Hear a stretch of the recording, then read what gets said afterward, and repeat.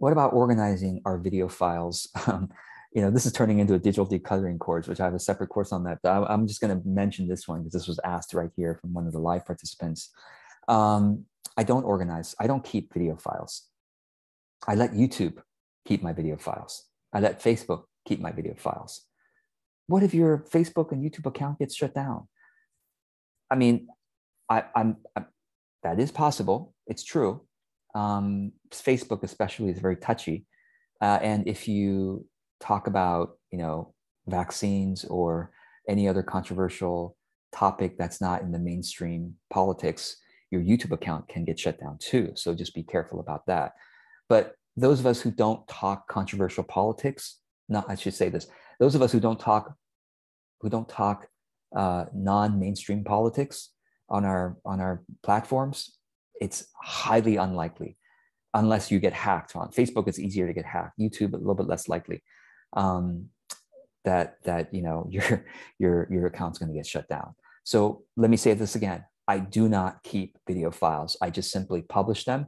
And then when I want to download it in the future and edit it, I download the one from either the face. I YouTube is easier for me to find, right? So for example, if I go into my, um, uh, whoops, that's not the right document to show you. Sorry about that. Uh, okay, when I go into YouTube, I can easily, quickly find all my videos. You see how you, bookmarks bar is amazing um, I can quickly go into YouTube. Uh, this is this is basically YouTube Studio. Okay, this is YouTube Studio, and I can search my channel. So like, when was the last time I talked about? Um, when was the last time I talked about selling? Let's say selling. Okay, I'll have 30 videos on selling. Show all. Cool. All right, these are selling well. Okay, great. So then I can I can basically download it right here and I download it and I edit it in whatever edit, video editing software. That's how I do, you know, that's how I do it. Even though, even though I know YouTube compresses the video quality, it's not original quality anymore. Nobody has ever mentioned that.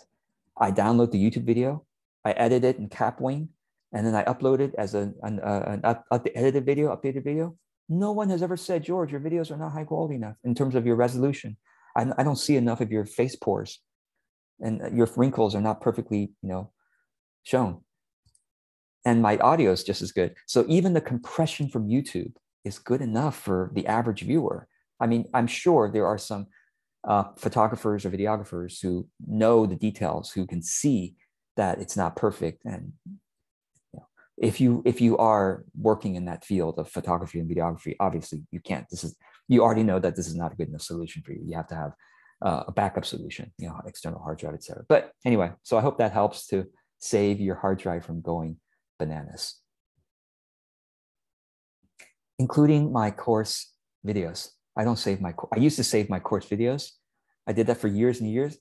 I never, ever, ever, ever needed to go back to it. So now I simply save my course videos on YouTube. YouTube is a free, free video storage device. The drawback, like I said, they compress the videos down to lower quality, but the average viewer doesn't care, doesn't even notice, doesn't even know what the difference is. You know, they can see one one less pore on your face. That's it. Um, a few less pores. Uh, but yeah, so so even my course videos, um, even when I finally go to a course platform such as Kajabi or Simplero or something, I'm still going to store them additionally on YouTube as unlisted videos because just in case the platform goes down. So free video storage, YouTube, unlimited.